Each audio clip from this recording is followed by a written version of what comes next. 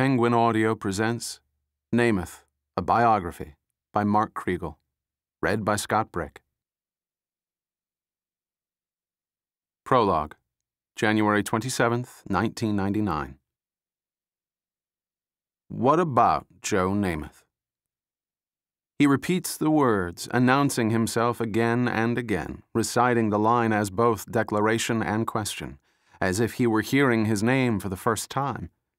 He varies the cadence, the accent, the timbre. He says it slow and sly and with an extra dollop of that southern syrup. He tries different styles. First, an anchorman, next, a color commentator, then with the enthusiastic baritone of a game show host. What about Joe Namath? In accordance with his ancestors' instructions, he had learned to speak American. He was fluent in those dialects heard on television. After all, he had studied voice.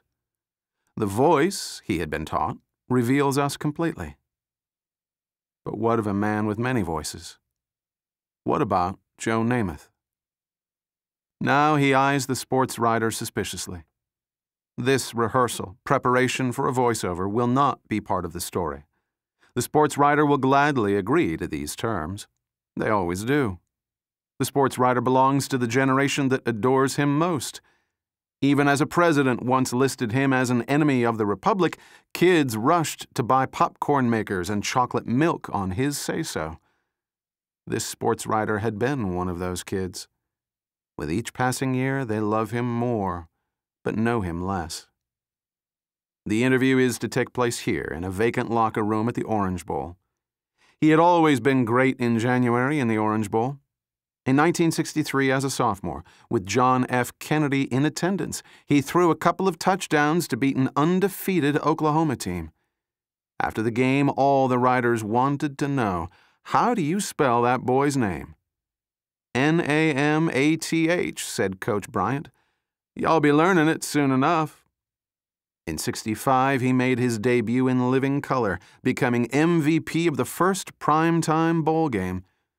The night served as a pilot for a new kind of action series. He was cast as its leading man, Broadway Joe, a role that culminated in its greatest glory 30 years ago this month in the Super Bowl.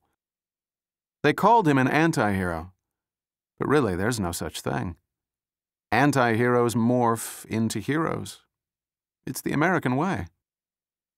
Still, little in Namath's current appearance suggests such heroism. As standing can be painful even on artificial knees of metal and plastic, he sits on a folding chair. The famous stoop in his shoulders seems more pronounced. He slouches, shirtless, a tuft of gray protruding from his chest. He is tan and thin, there is less of him than the sports writer imagined. He doesn't look like Broadway Joe. Rather, he looks not unlike the sports writer. He looks like somebody's father. So what about Joe Namath? At the height of his fame, he made, or rather had made for him, a cult of his bachelorhood. Broadway Joe was a high priest of lush life, his affections sought by a sugar frosted society of starlets and stews, all of whom sought to worship at an altar adorned with llama skin rugs. But now the star seems a bit unsure at the sound of his own name. He's still practicing his voiceover.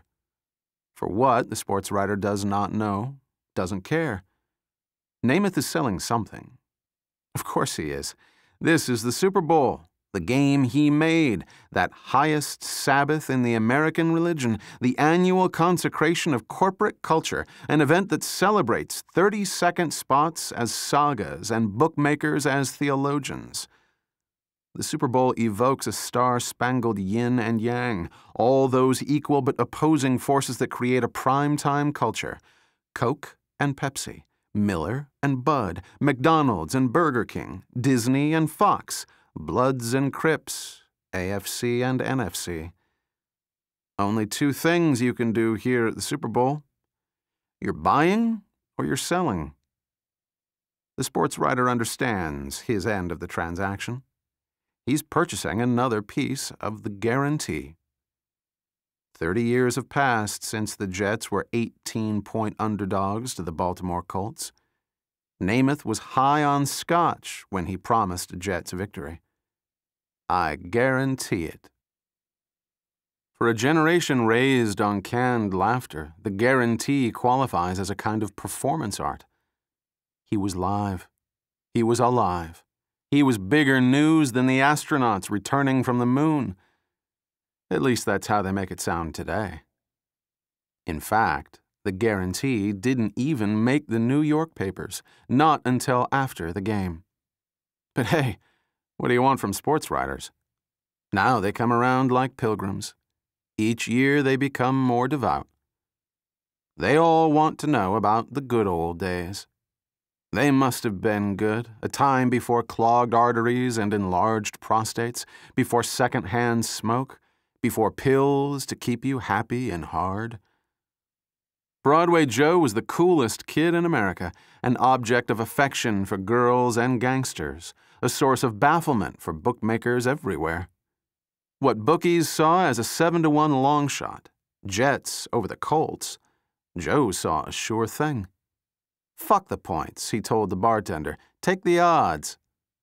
Such a gifted hustler. He made debonair comedy of most likelihoods. He walked off with Jagger's girls. He spilled drinks on Sinatra. He grinned his way through it all. The Raiders broke his face, and he caught a flight to Vegas, came back the next week, and set a single season passing record. Namath had a concussion when he hit Maynard in the AFL Championship game.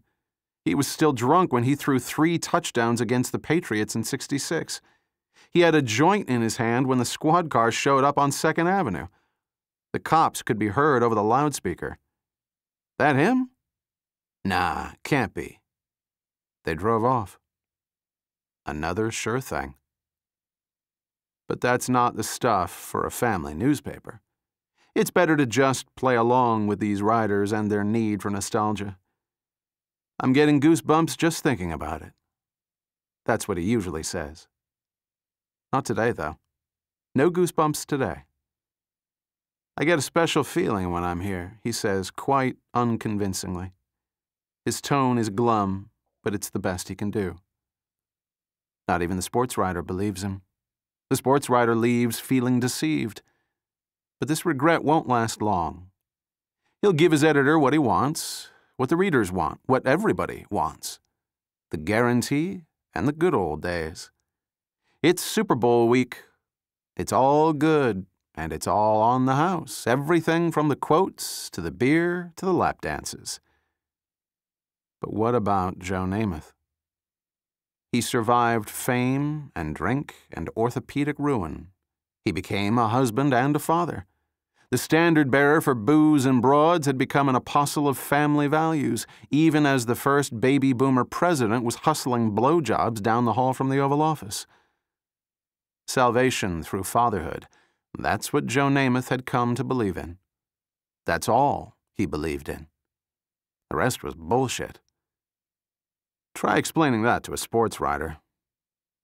But now Broadway Joe needs a drink. His wife has left him ran off with a plastic surgeon from Beverly Hills. So what's he supposed to say? Should he tell the guy there are no guarantees? Why ruin everything? Oh, he wants a drink. A vodka, a beer. So what's the spread on this one? What are the odds? Does he make a comeback? What about Joe Namath? Chapter 1 A Distant, Fabled Land. On February 11, 1911, after 19 days at sea, the RMS Pannonia dropped anchor in New York Harbor. The steamer had accommodations for 40 passengers in first class, 800 in steerage. Immigration officers directed their transfer to ferries on which they were literally packed and delivered to Ellis Island. Among those bound for the Great Hall was Joe Namath's paternal grandfather. The ship's master entered his name in the manifest, Andras Nemet. He was Hungarian, of the Magyar race and the peasant class. He had been born a subject of Franz Josef, Emperor of Austria and Apostolic King of Hungary, and lived in a place called. We hope you enjoyed this preview. To continue listening to this audiobook on Google Play Books, use the link in the video description.